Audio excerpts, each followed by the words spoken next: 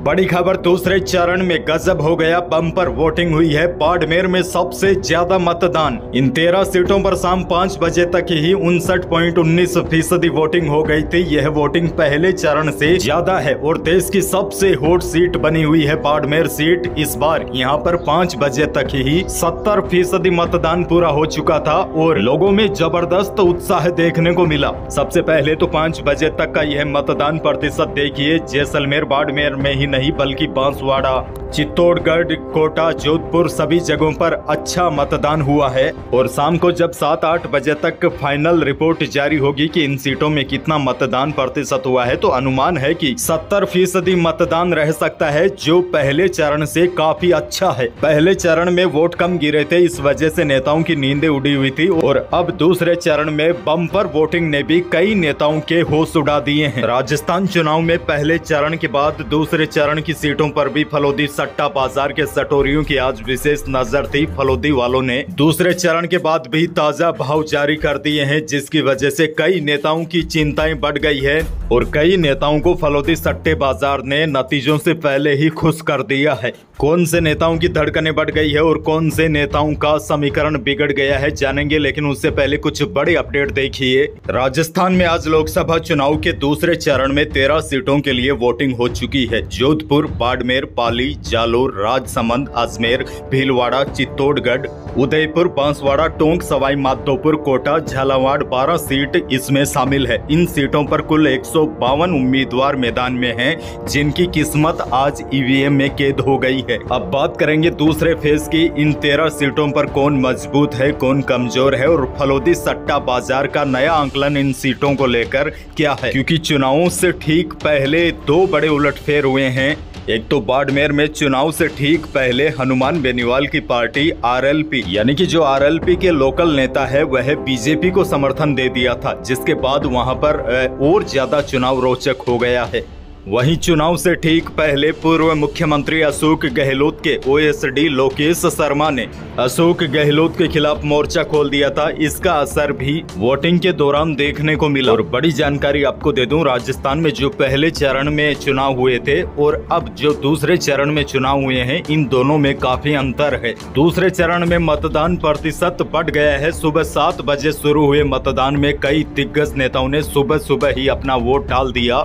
जो पहले चरण में वोटरों में सुस्ती थी, वह दूसरे चरण में बिल्कुल नहीं दिखाई दी। हालाँकि, ज़्यादा अच्छा मतदान प्रतिशत तो नहीं रहा है, लेकिन फिर भी पहले चरण से ठीक है। तो अब इन तेरह सीटों पर मुकाबला बेहद रोचक हो गया है। चलिए जानते हैं, फलोदी सट्टा बाज़ार तेरह सीटों पर किसकी स्थिति मज़बूत बता रहा है और किसकी स्थिति कमज़ोर? फलोदी सट्टा बाज़ार के अनुसार जोधपुर लोकसभा सीट की बात करें तो भाजपा के गजेंद्र सिंह शेखावत के भाव 30 से 35 पैसे हैं और कांग्रेस के करण सिंह उचियारडा का भाव एक रुपया, यानी कि यहाँ पर भाजपा के गजेंद्र सिंह शेखावत मज़बूत है। झालावाड़ सीट की बात करें तो यहाँ पर पूर्व सीएम वसुंधरा राज्य के बेटे दुष्यंत सिंह और पूर्व मंत्री की पत्नी मैदान में है। झालावाड़ में फलोदी सट्टा बाज़ार के सटोरियों ने दावा किया है की यह सीट बीजेपी के खाते में जा सकती है। राजस्थान की सबसे हॉट सीट बाड़मेर की बात करें तो यहाँ रविंद्र सिंह भाटी, कैलाश चौधरी उम्मेदाराम बेनीवाल के बीच त्रिकोणीय मुकाबला है और दूसरे फ़ेज़ में बाड़मेर लोकसभा सीट पर जिस हिसाब से वोट पड़े हैं, उस हिसाब को देखकर अब फलोदी सट्टा बाज़ार के सटोरियों ने तीनों के भाव बराबर कर दिए हैं। यानी कि यह सीट किसी के खाते में जा सकती है। यहाँ पर ज़बरदस्त वोटिंग हुई है। किसके पक्ष में ज़्यादा वोटिंग हुई है? यह कहना जल्दबाजी होगी, लेकिन यहाँ पर मुकाबला टक्कर का है। तीनों प्रत्याशियों के ही भाव सेम है।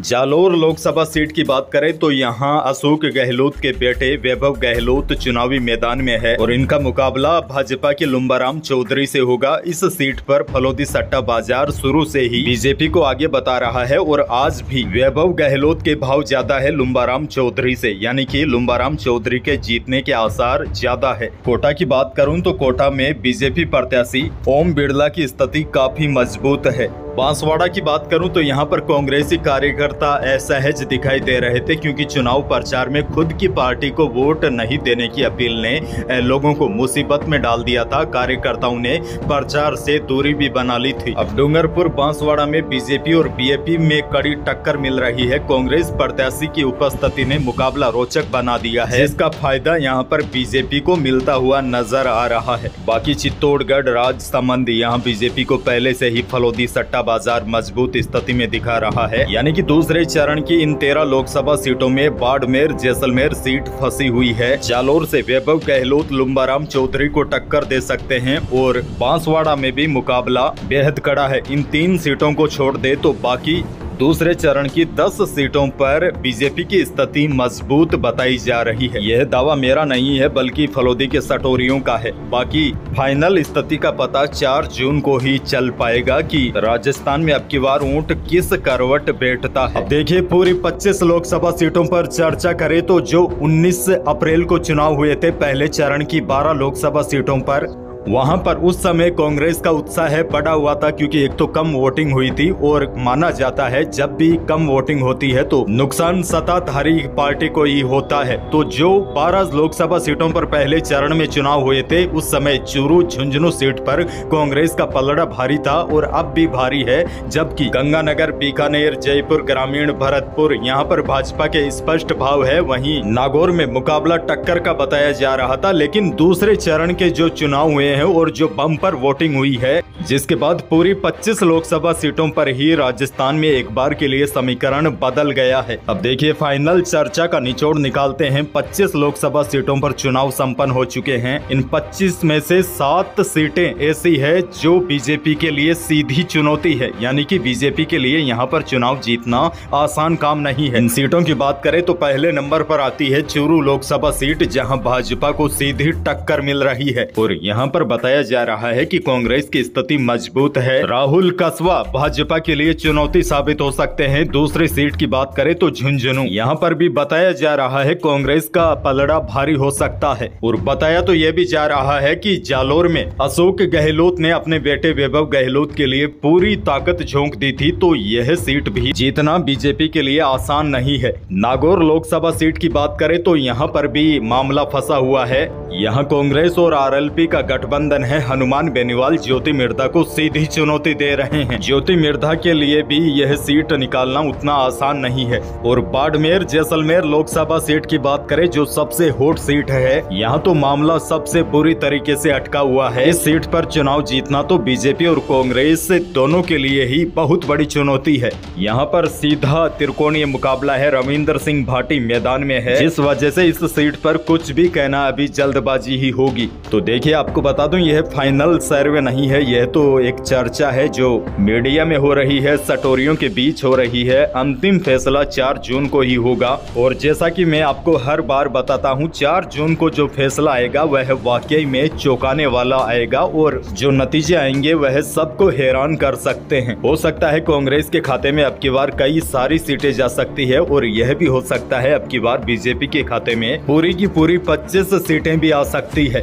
यानी कि सच्चाई का पता जब 4 जून को मत पेटियाँ खोली जाएगी, तब ही 12 बजे तक चल जाएगा कि कौन कितना पानी में है और कौन कितना बाहर।